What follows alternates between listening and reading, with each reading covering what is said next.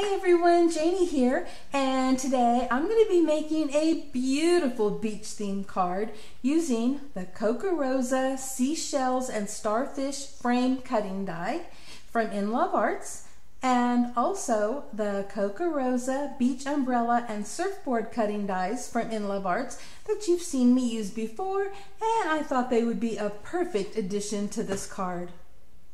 And I am using my Sizzix Big Shot Switch Plus to do the die cutting.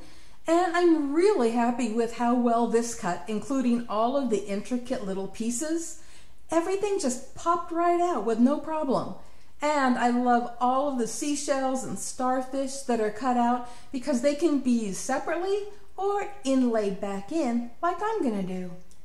But the first thing that I'm gonna do is add some foil without using a machine. And I'll be doing that by spraying the border piece with spray adhesive and then laying the transfer foil on top of that and burnishing it down really good. I like to use my fingers and rub all over it really well to make sure that the foil and the die cut make complete contact before I carefully peel off the foil sheet. One of the signs that it's making complete contact is when you can start seeing the shape of the item that you're putting the foil on. And I'd like to point out that this works with any transfer foil and I will link my videos on the end of the screen of this video so that you can learn more foiling techniques that do not require a machine. Now, when you're sure that everything is covered, then you slowly and carefully peel back the foil sheet and you will see that the foil has transferred to the item that you're putting it on. And if you see any places that were missed, just go back with the foil and rub it over those areas. It is so easy to foil anything that you want without a machine, and you can do this with more than just cards. And next, I'm going to be using spray adhesive, but you can use any glue that you want, and I'm adhering that piece to a piece of cardstock and then I will cut around it.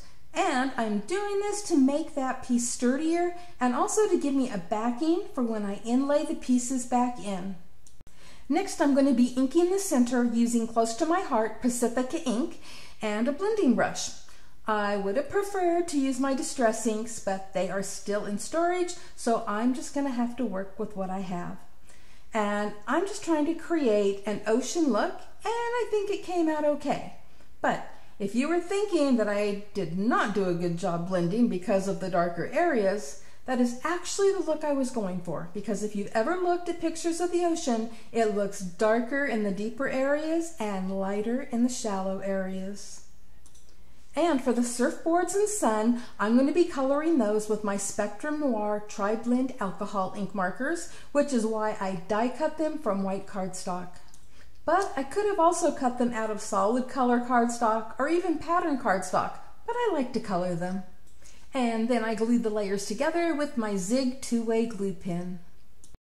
And I'm also using those markers to color the die cut pieces from that frame that I'm going to be inlaying back in. And you may have noticed that I had die cut them from a pale beige color to get more of an earthy beach look after they're colored and then I can layer them back into their places in that frame border. And I also ended up coloring some of those tiny starfish before I inlaid those back in.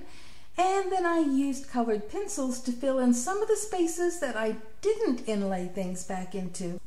So because the shell frame is not quite as wide as the card base, which is five and a half by four and a fourth, I decided to ink around the edges of the card base to give it a sandy beach look. And again, this does not have to look perfect because sand is not perfect. As perfect as nature is, it has too many variations for a solid perfect look. And now it's time to put the card together and I'm going to let you listen to a little music while you watch me do this.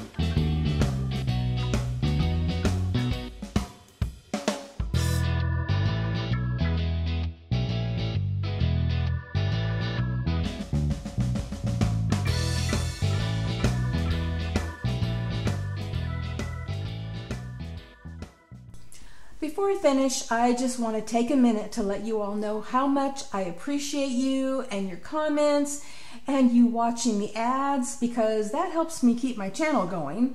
And I wouldn't have a channel if it wasn't for all of you wonderful people out there. So thank you all so very much.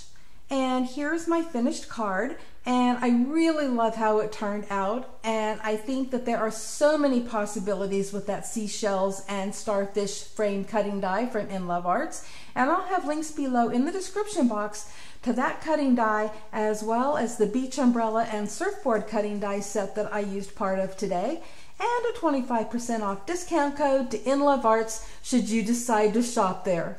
Also, don't forget, if you're interested in learning more about foiling without a machine, I have those videos right here on the screen as this video is ending. Happy crafting, everyone. Bye-bye.